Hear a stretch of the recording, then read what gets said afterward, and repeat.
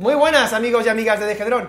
El vídeo de hoy creo que os va a gustar especialmente. Voy a explicar cómo tomar fotografías correctamente con nuestro dron para obtener finalmente fotografías panorámicas.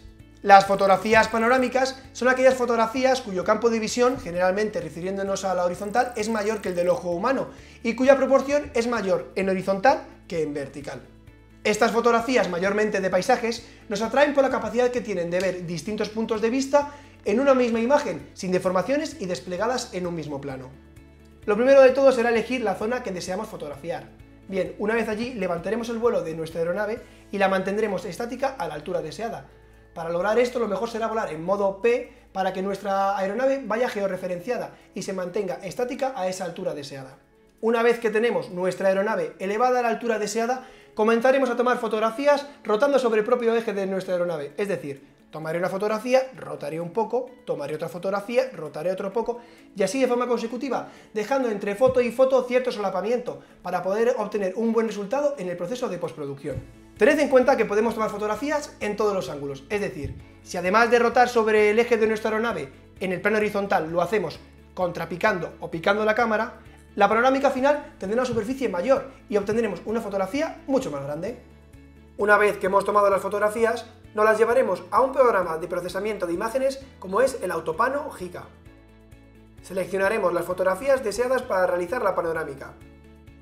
A continuación, pulsaremos sobre el botón de Detectar y el programa automáticamente detectará la correspondencia de puntos y nos generará un previo. Sobre la ventana de dicho previo, pulsaremos en el botón de Editar panorama y nos abrirá otra ventana de edición. Lo primero será elegir la proyección a mostrar. Para ello, pulsaremos en el icono con forma de mapa, llamado Proyecciones. Seleccionaremos la proyección esférica. Como podéis ver, hay mucho área que no nos interesa, así que pulsaré sobre el botón Recortar y automáticamente por defecto me sugerirá un cropeo adecuado para tener una foto correcta. Si estoy de acuerdo con el área seleccionada, pulsaré en el botón de Aplicar. Existen varias funciones para hacer ajustes, las cuales en principio no tocaremos, pues algunas de estas funciones podemos ajustarlas en Photoshop y otras requieren de más experiencia. Una vez que ya tenemos la imagen, pulsaremos sobre el botón Crear. Aquí finalmente seleccionaremos el formato de exportación y la ruta y daremos al botón Crear y obtendremos nuestra panorámica. Si observamos la información de nuestra panorámica veremos que tanto el tamaño como el peso ha aumentado, lo cual es lógico ya que es una composición hecha por varias fotografías. Y esto nos va a beneficiar si el objetivo final de nuestra panorámica es imprimirla en grandes formatos como por ejemplo un cuadro. Si hemos tomado fotografías girando totalmente sobre el eje del dron, es decir, cubriendo los 360 grados, asegurándonos de tener fotografiado tanto el cielo como el suelo, podremos hacer las llamadas panorámicas mini planeta.